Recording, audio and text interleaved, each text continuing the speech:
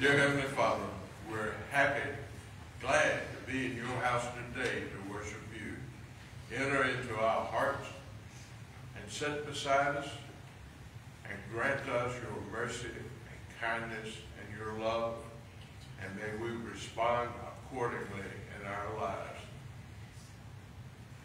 Thank you for loving us and for courageously giving your life for us. Forgiveness of sins is, is a happy life. Thank you, Father, for all that you've done. In Jesus' name, amen. Let's turn to page 167. All hail the power of Jesus' name. That angels prostrate fall.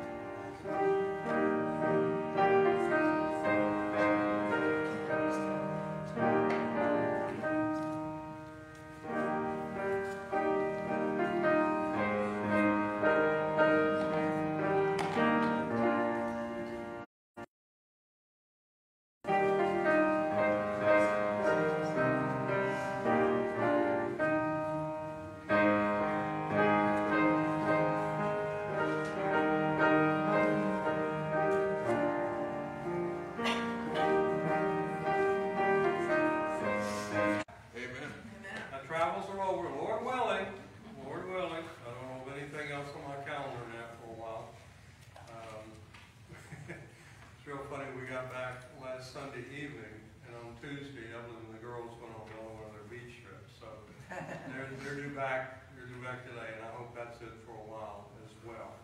But uh, it is good to be back. We had a wonderful, wonderful trip, and Elizabeth's graduation was um, fantastic, fantastic. And uh, I go on, but I can't.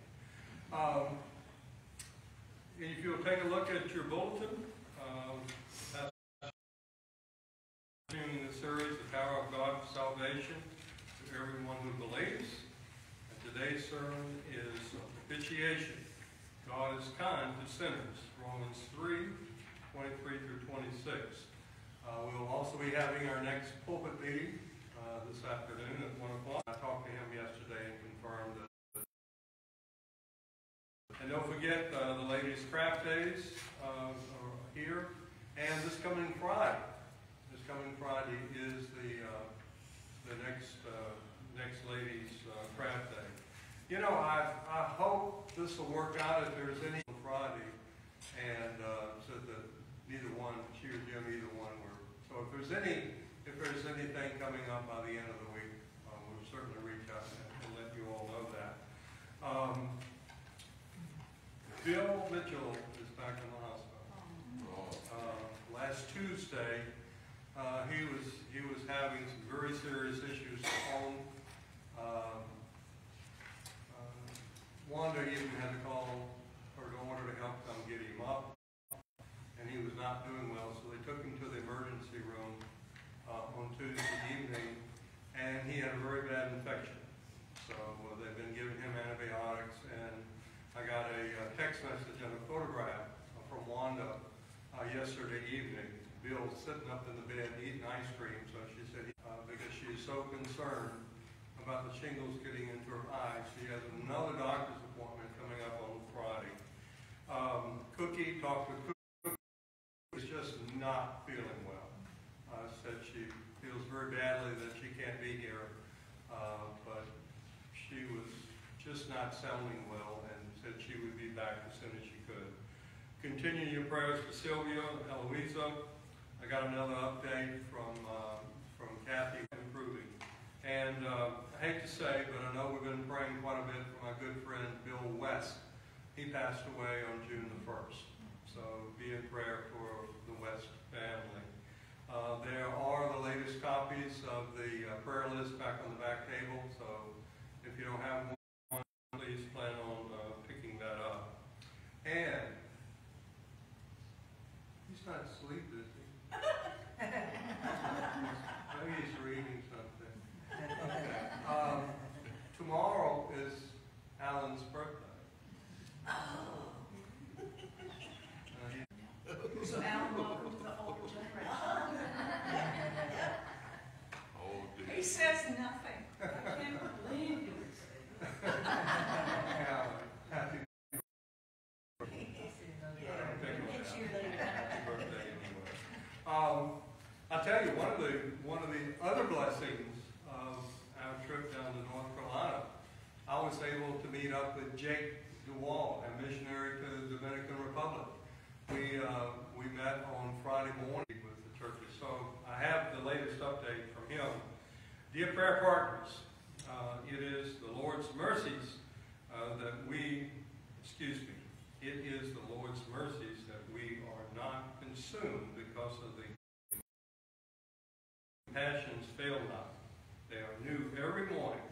Great is his uh, faithfulness. Lamentations 3, 22 and 23.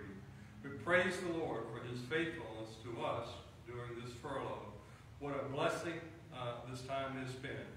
We just purchased and encouraged hearts. We have continued uh, traveling many miles uh, and, and, and to gain additional prayer and financial support. The Lord has been working this out on our behalf. He also says that his the church, even in their absence, their church is continuing to grow. And uh, he says that the Dominicans are really getting involved. And he thinks one of the first things that they will be doing when they get back is, Lord willing, planting a new church, uh, not too far from where they are right now. So we're looking really forward to, to being able to do that. And another thing, too, that he mentions in his letter is when he gets back, he says they have a need for another vehicle. So if anybody uh, has a little extra, and uh, also pray for their safety as uh, they get back home. So um, at this particular point, uh, let's have a prayer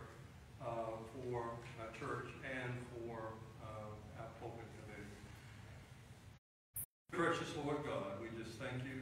We lift you up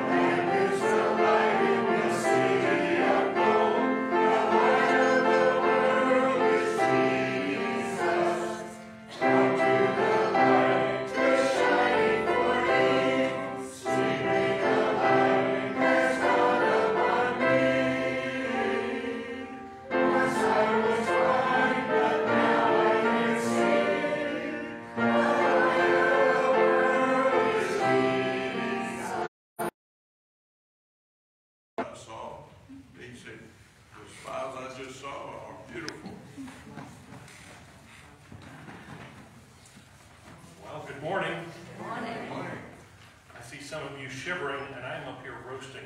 So I'm streaking in the pulpit here, this Psalm 19, and you should have received a handout with that, and I dare say that you've been around a while enough to know, know the score, but for the sake of communication, I'll read the first verse, and you read the bold verses, and then I will join you on the last one. Hear the word of the Lord. The heavens declare the glory of God,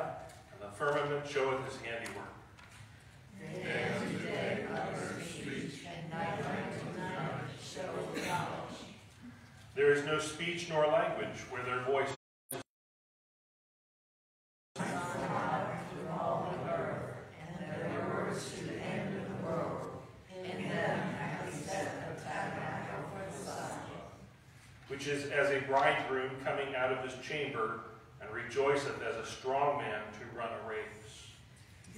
The commandment of the Lord is pure, and enlightening the eyes. The fear of the Lord is clean, enduring forever. The judgments of the Lord are true and righteous altogether. More to be desired are they than yea, but to find gold, sweeter also than the honeycomb. Moreover, by them is thy servant warned, and in keeping of them there is great reward. Who can understand his errors? Cleanse thou me from secret faults. Keep back thy servant also from presumption. His word.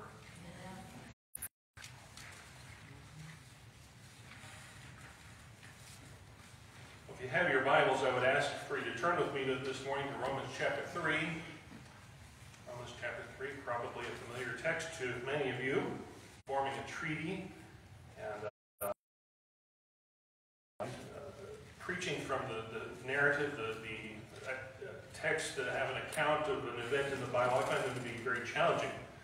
And so please pray for grace for me next week.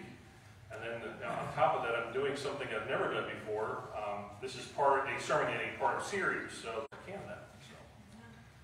Romans chapter 3. Um, C.S. Lewis's book, The Lion, the Witch, and the Wardrobe, describes a scene in which the two heroines, uh, Susan and Lucy, uh, hold a conversation with Mr. and Mrs. Beaver. And the Beavers a lion named Aslan, uh, representing Christ. And their conversation goes as follows. Susan says, Oh, I thought he was a man. Is he quite safe? I shall feel rather nervous about meeting a lion. Beaver says that you will think about safe. Of course he isn't safe, but he's good. This conversation finds its foundation in part from our text here this morning. No one would ever treat a lion as if he were tame, because no lion can ever truly be tamed. There's something awesome and beautiful about the lion, but his ferocity inspires. Uh, he's holy in the sense that no one could possibly compare with him in any way. His character is absolutely perfect and without sin. His excellence is beyond our comprehension. his glory is overwhelming. His standards and assessments are always absolutely right and perfectly fair. His holiness means that he alone possesses the authority to establish once and for all what is right and what is wrong, and the ability to perfectly enforce his standard. In other words, Jesus appeases God's wrath by faith. we live in a day when preachers tell of a milquetoast God. Uh, he's this benign, grandfatherly figure who, who, snickers at our foibles like we snicker at a mis mischievous. That God could be angry is hardly consistent with the image that some people have of God. They cannot bring themselves to believe that the God of the Old Testament is the Jesus of the New Testament. There are some who cannot conceive of a God who would actually send anyone to hell, a doctrine known as universal. word meaning to appease or to satisfy. Propitiation resolves this tension that, that we see, as it seems, to exist between God's holiness and God's love. Jesus endured God's wrath. We might experience the joy of God's love. To see someone else suffer to the extreme, that we might be spared the same, can only inspire one response humility. To look upon another suffering for our sake in callous indifference appeases God's wrath, starting in verse 23. For all have sinned and come short of the glory of God, being justified freely by his grace through redemption that is in Christ Jesus, whom God hath set forth to be a propitiation through faith in his blood, to declare his righteousness for the remission of sins that are past through the forbearance of God, to declare, I say, at this time his righteousness, that he might be just, and the just let me illustrate this passage with something we could wrap our minds around fairly easily. Husbands, have you ever done anything stupid and made the wife angry? Wives, have you ever done the same maybe to your husband? Not too much the husband doing it to the wife, right? So, husband's frustration and anger at you. Your act was an act of propitiation in that sense. Jesus is the propitiation for our sins. Now, why did Jesus need to be the propitiation? Verse 23 tells us that we all, each and every person who ever lived and ever will live, are sinners. In fact, it says there that we fell short of the glory of God. We talked about this last week, where glory is where God gets all the credit, and we sin because we try to take the credit for ourselves. We did not meet God's perfect standard, better than you, and you put your name in there and use profanity to call you names. How would you respond? Uh, it, it, would, it, would, infuriate you, wouldn't it? You, would be so angry, you'd, you'd see red. Mean, somebody could measure your pulse by the veins throbbing on your forehead? This is the height of ingratitude. And this gives us just the smallest glimpse of God's response to our sins. We need to understand rightly God's wrath. Let's use our anger as a point of reference. Have you ever been so angry that you shouted and screamed or, just surrendered any sense of, self-control? I think we've all been there a few times. And our anger tends to be quick in both its arousal and its duration. Uh, it, it's difficult to maintain our tantrums for long, and, and that's exactly what they are. They're tantrums. Uh, although we're, most of us here today are adults, uh, we, we think we're sophisticated, and tantrums are just for toddlers, you know. And if, if we were children, though, our expressions of anger would without a doubt be called tantrums. We don't call them tantrums because we're adults. We call it flying off the handle. Does that make you angry? God's anger is not a sudden change in his temperament, like all of a sudden he flies off the handle. God doesn't sit in, in heaven with a smile someone doing something wrong, then he just, again, loses control. If, if we allow our anger to, to do what we call the slow boil, it becomes vindictive. And, and, and, we justify our rude responses and behaviors toward the person who's the object of our anger because we assume they did whatever they did. God's anger is always provoked by sin. Nothing in God changes. His response isn't sudden, it's a part of his unchanging character. our sin angers God, how can he be appeased? We read in Psalm 40, verse 6, David writes, Sacrifice and offering thou didst not desire. Mine ears hast thou opened, burnt and sin offering hast thou not required. How could that be? What does the Apostle Paul mean? God's holiness will never allow him to condone or to excuse sin.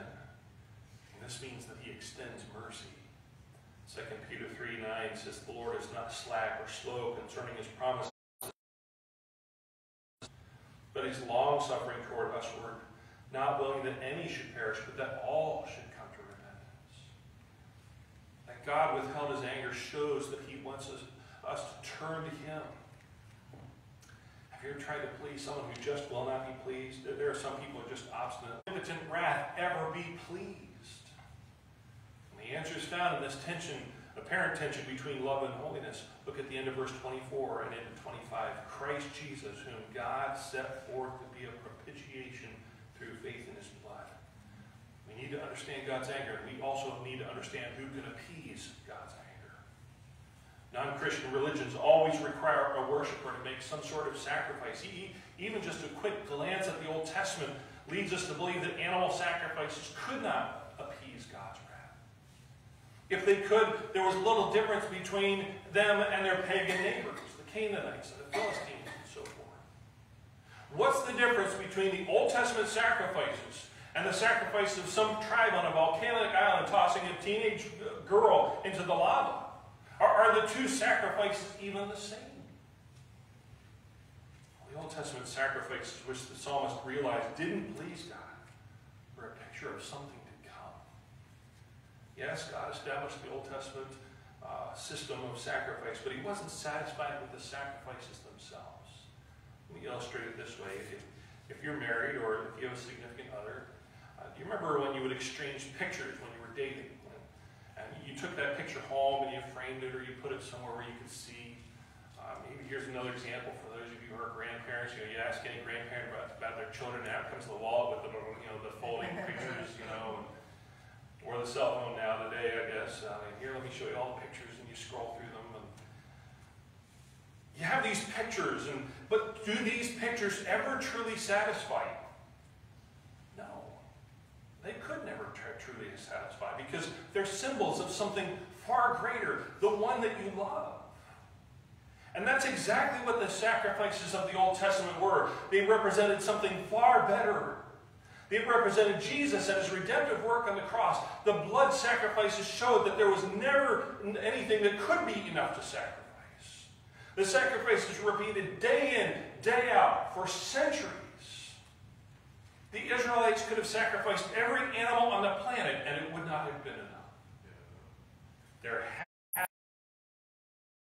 had to be the slaughter to an end. Verse 25 tells us that God ended the sacrifices through his Son, Jesus Christ.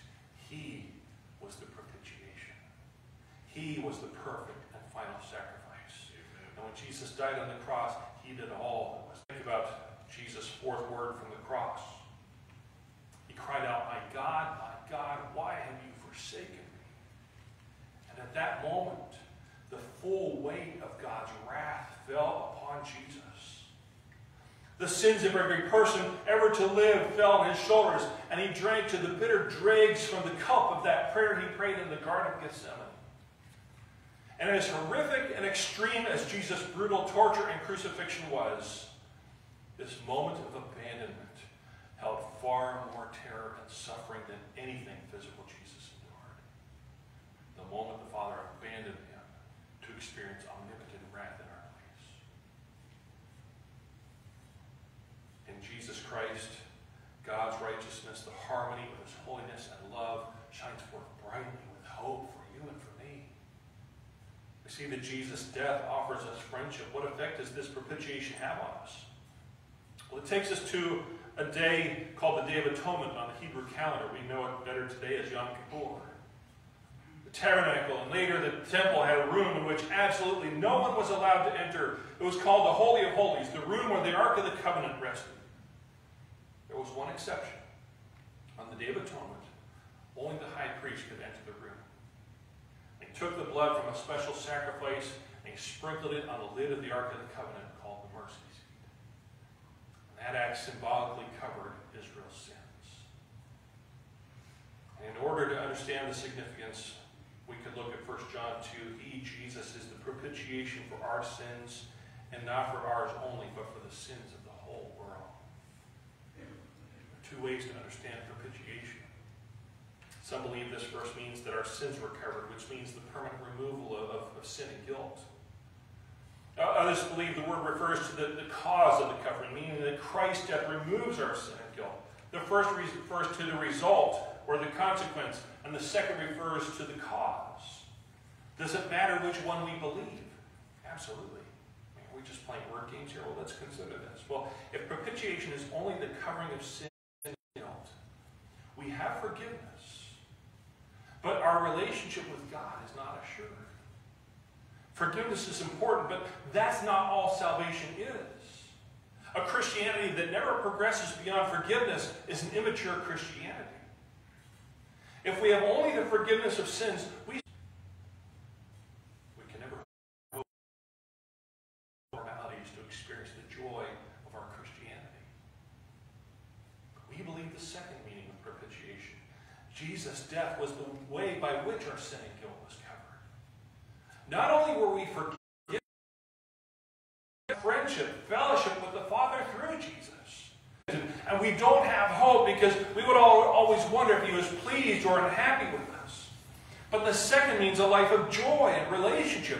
God is close and personal. We, we know of Jesus rather than anything we did happen during those six hours.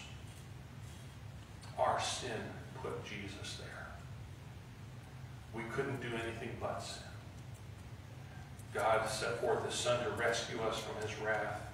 That's what it means to be saved. Regarding our salvation, we could boast if we gave a million dollars to a church or, or a charity. We, gave blood, we gave donated organs, we, we did this, that, and the other thing, and they all may be no, but they couldn't come close to the sacrifice on the cross.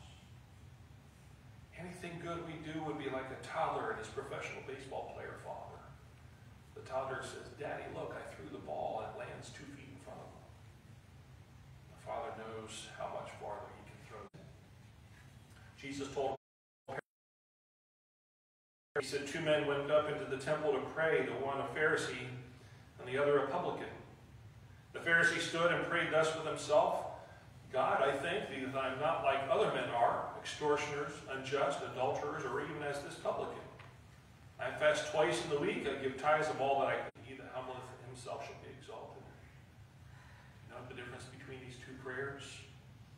The religious man pointed out all the flaws of others and all that was commendable in himself. That's not humility. See that only the flaws in others is arrogance. The second man was a social outcast because he was a collaborator with Roman government. Nearly everyone around him thought he was a traitor. He prayed, Be merciful to me, the sinner. Sensed his outcast position, not as God's anger, but confesses it so that relating friendship with God is something to be enjoyed. The God who's a dangerous lion becomes to him or her a good God. We are to receive blessing. Another way we know that we've been humbled is that we endure wrong, done how we endure the wrong that's done to us. 1 Peter 2 describes Jesus' death on the cross. It says, Who, when he was reviled, reviled not again. He, he didn't kick and scream, being dragged all the way to the cross. He didn't curse at his tormentors as they nailed him to the tree. He patiently endured the great contradiction of sinners against himself because he trusted the Father everything fairly. That unfair thing that was done to you, or merely perceived as being done to you, falls under the cross. It's not outside Christ's lordship. It isn't outside God's ability or authority to deal with it. Romans 13 begins, Let every soul be subject to the higher powers, for there is no power but of God. The powers that be are ordained of God. Whosoever therefore resisteth the power resisteth the ordinance of God, and they that resist shall receive to themselves damnation. This passage speaks specifically of government, but, but generally applies to anyone who holds leadership to address wrong leadership, but to resist authority is to rebel against God. Submission to our leaders, whether they're good or bad, shows humility. Receiving correction reveals humility. The black and white pictures of life that the, we aren't, as Westerners, aren't, aren't always comfortable seeing. We like to see things in shades and hues, but things are very black and white in the book of Proverbs, especially. Listen to two of them regarding accountability. Proverbs 12, verse 1 says, Whosoever loves instruction loves knowledge, calls us fools. If we exalt our own experiences and opinions and agendas of the counsel of sensible believers around us, we're stupid fools. We're more concerned about ourselves than anything else. That's not humility. Humility loves correction. This doesn't mean that we always respond well and immediately means that in the end we realize that what was. But if ye forgive not men their trespasses, neither will your Father forgive your trespasses. Forgiveness doesn't harbor hurts. It doesn't nourish them and cherish them and cultivate them. It doesn't nurse them. It doesn't create confirmation bias against them. You know, when somebody does something wrong, yeah, it just proves my point. They're just that idiot I already thought they were. Confirmation bias. Forgiveness releases that wrong that was done to the covering of Christ's blood a forgiving person truly understands propitiation because they're trusting that wrong to God. Thankfulness reveals a humble spirit. 1 Thessalonians 5.18, and everything give thanks. For this is the will of God in Christ Jesus concerning you. To give thanks means that we recognize that we don't deserve what we have and, what we get. To thank others is, is to humble ourselves because we realize that we couldn't have done what we did someone else being in our lives without someone else helping us. Thankfulness represent, uh, recognizes God's grace poured into your life through others. How you talk about others reveals much about your humility. Ephesians 4 tells us this let all bitterness and wrath and anger reveals our humility and unmasks our pride. What you say is just the overflow of what already fills your heart. If you bump a cup of tea, tea spills out, not coffee you speak ill of others, it's because they'll expect today's humility to be enough for tomorrow. It, it, it's a moment by moment battle to keep ourselves under that constant war to make sure that you trust that God judged all sin, even the wrong and the sin that was done to you when he vented his wrath on Jesus in your place. That's what it means to follow Jesus daily. Sometimes people do really unfair. The flip side of that truth is terrifying. For the non-believer, the best thing they will ever experience in this life is the best thing they will ever experience. There's good news. Romans 2 says, Despise it thou the riches of long suffering, not knowing that the goodness of God leads thee to repentance, that you take one more breath, that you were given today means that God withholds his wrath against your sins. Today is proof of God's goodness and kindness toward you. This truth should lead you to repentance, to turn to God for salvation. Don't store up wrath for yourself. It's like taking a, loan with a balloon payment. And eventually the conditions of the loan will come due and you'll be required to pay for your sins all at once. The good news is that Jesus was set forth to be your died in your place to bear God's wrath on your sins. Believe now. Believe that, that you are what God says you are, a self-condemned sinner. Believe that nothing you can do can remove you from God's wrath. And believe that Jesus did all that was necessary for salvation. And don't wait to, until the last second because it's already too late. The gospel is urgent. Behold, now is the accepted time. Behold, now is the day of salvation.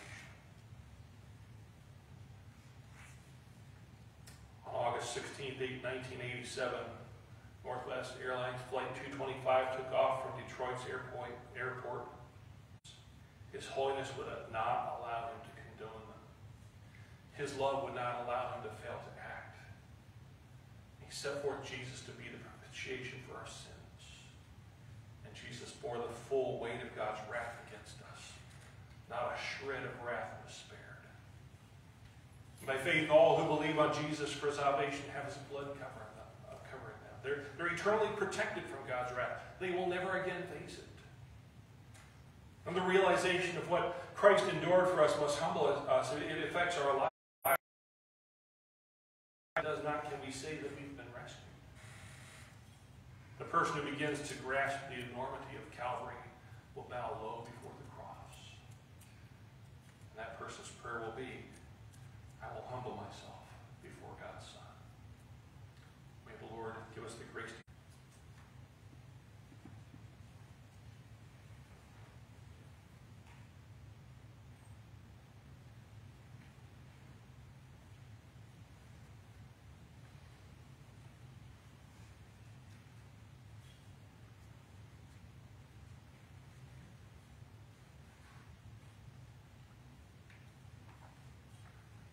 Kind and gracious Heavenly Father, we come before you in dread and awe. We don't deserve to be here. We deserve the full weight of your just and fair anger against our sins. And yet we are indeed here. And it's only because of the mercy you showed us of Jesus Christ, and we ask you to hear and to answer this prayer in his name. We come to you to plead for your Holy Spirit's convincing work in the heart of the person who may be here today, watching online, who's never believed on you for salvation. May today be the day that they humble up before you, trusting Jesus only. May today be the day of their salvation. Lord, we confess as believers that we don't always understand what you did for us at the moment of salvation. Sometimes we don't understand because we just don't take the time to think about it. Other, other times we're just, please keep the truths of this message before us that we will remain humble before you. And we praise you for what you did for us in Jesus